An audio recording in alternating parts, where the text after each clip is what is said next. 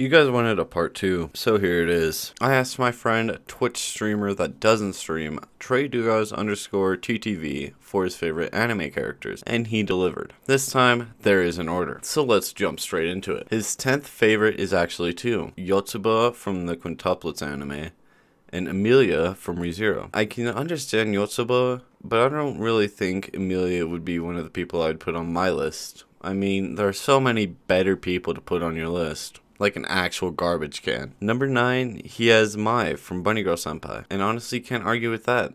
At least it's higher up than Emilia. Number 8 is Violet from Violet Evergarden. And I can't say much about this character in the next because I haven't seen the show. Number 7 is Benedict from Violet Evergarden. And again, I can't say anything because I haven't seen the show. Number 6 is Bell from Danmachi. Oh yes, the harem protagonist that is too innocent to realize he has a harem. Number 5 is Miku from the Quintuplets.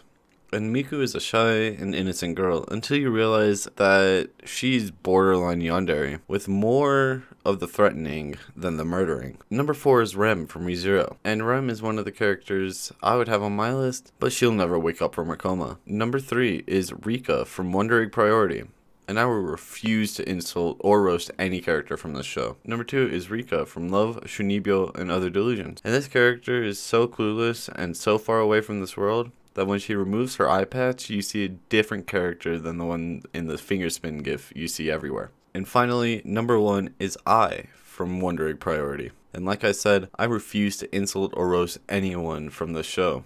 And Ai's the one that I definitely will not roast. She's such a cute character that I will give head pats to all day. That was Trae Dugas's underscore TTV's list. Some of the characters were characters I would have on my list, especially the Wonder Egg characters, but other characters, Emilia, and our characters that I would be like, those are good characters, but should I really put them on my top 10? But that's all I got.